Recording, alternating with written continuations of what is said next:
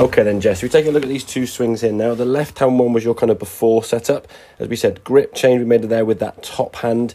As you can see here at address, the top part of the grip now is kind of visible where your left hand hasn't come over enough, as we can see in this right hand image now. So getting that grip more in the fingers, so your left palm or your left hand a bit more over on the grip there, that's going to help you now with the swing change we made in terms of hinging the wrist up. You can see on the left, because of that wrist position or the hand position on the club, as you went back now, your wrists weren't really able to hinge in this position. You see the watch pointing down to the ground.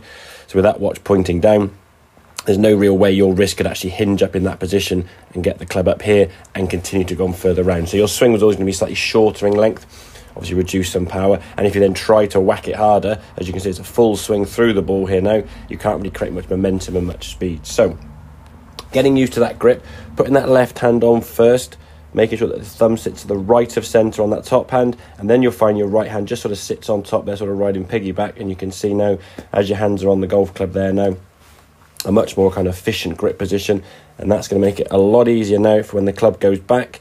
You're able to kind of hinge the wrist up as we can see now. You're turning your torso as you do normally.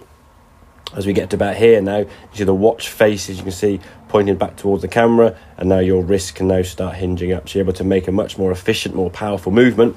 Once you're up here now, just a question of swinging back down for that golf ball. Great strike as we can see, and then because of that extra speed now created in the backswing, that follow through now much longer, much further. I think the ball travelling up to about 80 or 90 yards kind of your furthest shot, which for someone just starting is very, very impressive. So work on that grip, get this position now to a point where it just feels comfortable. So that's what you do without any thought. And then in terms of the swing thought there, just focusing on that kind of hinge of the wrist there. So if we look at the differences in the grip there, hope you can see a where your left hand is positioned, how your watch is kind of further around, your watch face now kind of pointing towards the target more here rather than kind of pointing down towards the ground on the left hand one.